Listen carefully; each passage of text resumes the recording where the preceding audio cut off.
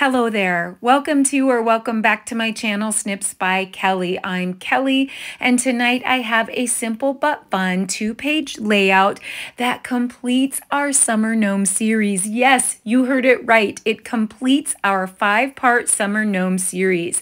So this will be the fifth and final layout in the Summer Gnome series that seemed like it took forever. Do you ever have anything that should take about three weeks and it ends up taking about three months? they were fun and it was great, but everything delayed this series. So I'm so happy to have it complete.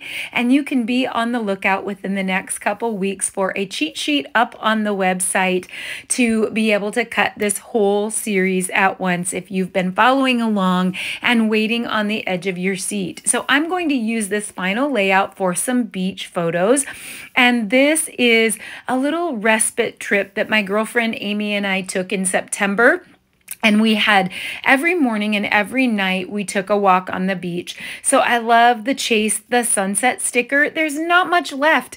This is going to be basic strips and you can take a look at the first layout in the series that I've linked in the description that tells all about how I made the bits for the entire five part series and the ingredients that I used. But the primary ingredient is the Summer Gnome Scrapbooking Workshop Kit and we don't have much much left. We have a few stickers. We have um, just a very little uh, pattern paper. So I'm just going to put some uneven strips of different lengths and or uh, different widths, excuse me, in um, in varying lengths apart to fill the top part of the page and make the most of the very little bit that's left.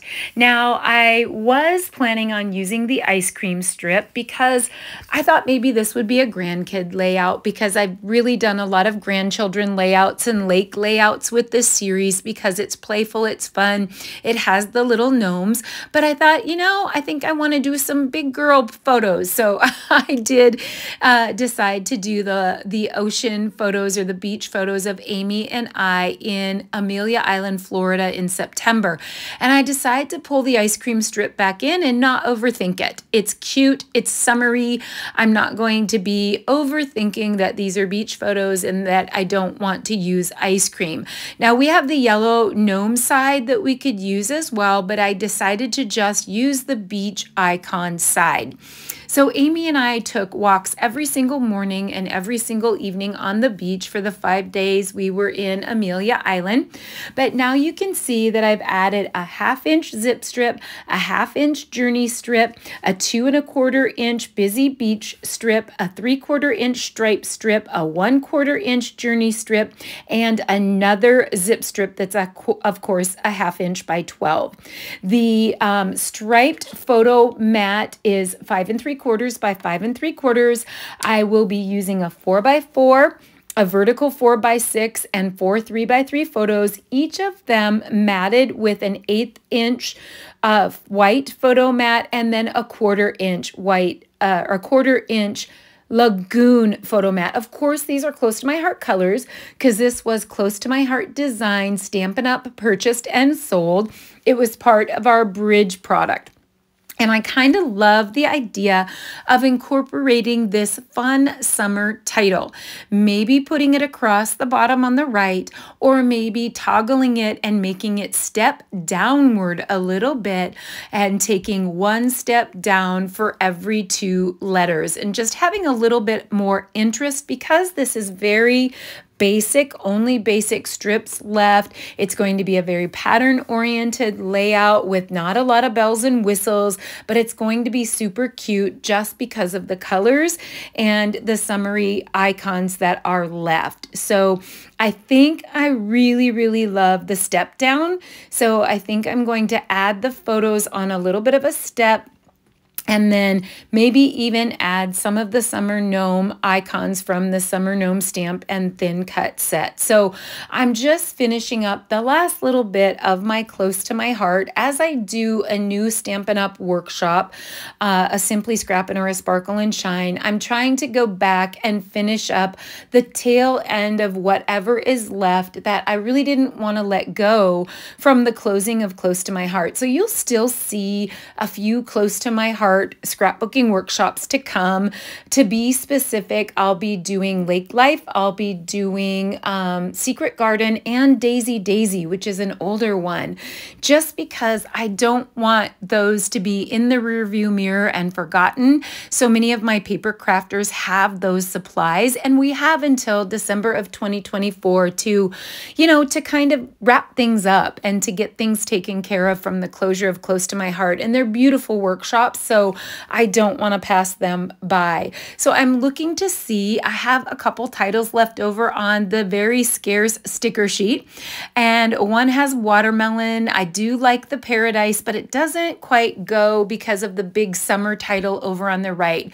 I really don't need anything super large over here on the left, and I'm super happy with Chasing Sunset or Chase the Sunset. You can see that it's sunset in our photos and that we're just, our Airbnb was on the beach, so it was just you know, 45 seconds from the beach. We just walked across a little boardwalk and we were right there on the beach to take a walk every morning and every night. So you can see it's a little bit of overcast. There was a little bit of a storm front the week we were there, but it was still in the 80s. And for Midwest girls, that was beach weather to us. Probably not so much for the locals, but it really, really was for us. So I decided to land on the banners coming down below the focal photo which is a photo of Amy and I. And I forgot my sunglasses, so I'm squinting. Even though it's overcast, it still was bright for my eyes. But I just love that the, the uh, ocean is behind us and that I thought about using the very last gnome. We have one gnome left. And then I thought, since this isn't of my grandkids and it's kind of just Amy and I at the beach, I think I'm okay with not using him. But he is there. We made him on the first video. And so if you're using this page for anything that's playful or fun or, you know, grandkids or kids or, you know, pool or whatever you might be using it for that the gnomes would fit with, you can tuck him in. He would go great on this page. I just used him on most of the pages in this series so that we would get really good use out of him. And boy, did we ever. We really used a lot of those. But I do have the Gnomes for Summer Stamp and Thin Cut set that has some pineapples, some shells, some sun. It had some bi, bi a bicycle that we used on a different uh, layout. It had a little sprinkler that we used on a different layout in this series, but I don't want to do a lot of intense coloring. This is a very simple and easy and quick to put together layout, so I want to do quick rubbing. I'm going to do some rubbing techniques to color those very fast. So I have a little honey butter, which is one of the colors that went with this series. So I have some honey butter that I'm going to color the bottom of the pineapples with. And then the pineapples in the um, pattern paper have journey for the tops, which is different.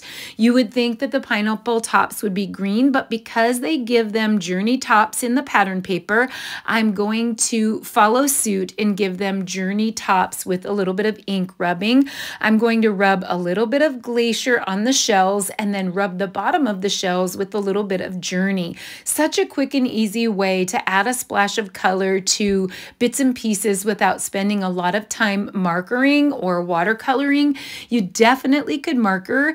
You could definitely use tri-blends. You could definitely use Stampin' Write or you could use um, your Stampin' Blends. You could use markers. You could use watercolor. You could paint with your ink. Uh, but I just love doing this very fast, very, very fast and adding that splash of color. So I'm going to add some more honey butter, darker in spots and lighter in other spots onto the sun and you can see how fast and how easy this layout came together. I definitely want to do some journaling over to fill some of the white space over on the left page. And then I think I have three of the punch out journey glitter paper die cuts left and they are all gone. So we're going to use those up no matter what. We're just going to make those work and we're just going to add those to the page and be done with it. So again, for those those of you that have been waiting, thank you for your patience with this series. It just seems like there's always something else that's been coming up. I had a busy summer, I had some death in the family. I had so much. You know, we had annual camping trips, I had a 40th class reunion, and I'm so happy to finally be getting back to this so that my paper crafters can put it to rest and get uh, all 10 pages complete at once. So I will be posting all the details on how you can get the Summer Gnomes cheat sheet so that you can cut all your paper at once and make all your bits at once and do all your die cutting at once. And you can, or you can also just simply follow each of my five videos that goes with each of the five layouts. So I've just taken some little scraps that are left over. I've used the crisscross journey piece and one piece is about three inches, one piece is about two inches. They're both about a half inch. And then the backside sailor hat, I've got a two and a half inch piece on the left, and I've got a two, about two and a quarter inch piece on the right. And I'm just using it to add a little interest, just adding those little pieces kind of like washi tape. And then I have three of those glitter uh, paper uh, shells that I'm going to hook into those pieces and then maybe hook one more piece up on the title, the Chase the Sunset title, and call it good. Add some journaling and I am really literally going to be done. I don't want to fuss. I don't want any muss. I want us to go out easy. We have some large Cricut elements on the other uh, pages. We have some layering. We have some tearing. We have a little ink blending. We've done a lot of different techniques in this uh, five layout series to create all 10 pages. And I think it's just feeling really great to end on an easy note and to get her done. so I've put my journaling on some journal sticker strips and I love doing this because I can write in paragraph form, but I can snip those strips anywhere I want to and form any little section that I want to. So I'm going to go with shorter than longer than longest and then shorter again until all of my words are done. And then I'd like to come back in with some of the same ink that I used on the stamp and thin cuts and just rub a few key words. I thought like sunrise, sunset, maybe um, rest, maybe grateful, a few key words and highlight a few key words with some ink. It's a cute little technique that's very inexpensive, quick and easy that sort of adds a little bit more jazz to your layout.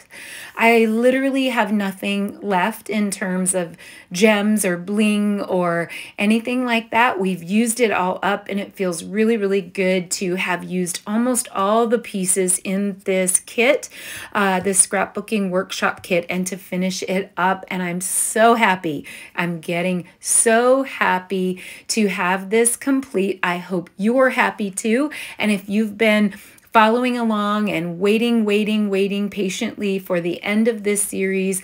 I hope it is a happy day for you as well. Thank you so much for watching this series. Hit like, subscribe, the notifications bell, shoot me a comment and let me know which of the layouts was your favorite, or just let me know what you think about this super simple and easy layout. I love that we have all five layouts in the series done. Here they are again. Let's take a look at all of them and we'll take a final closer look to the Chase the Sunset summer layout that we completed this evening.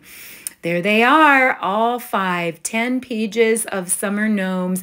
And this gnome series completes four gnome series. Winter, spring, summer, and fall gnomes now are complete and can be laid to rest. And we've done them justice. We've given them a home, we've put them in our pages, and I think we've done right by our entire one year gnome series from close to my heart.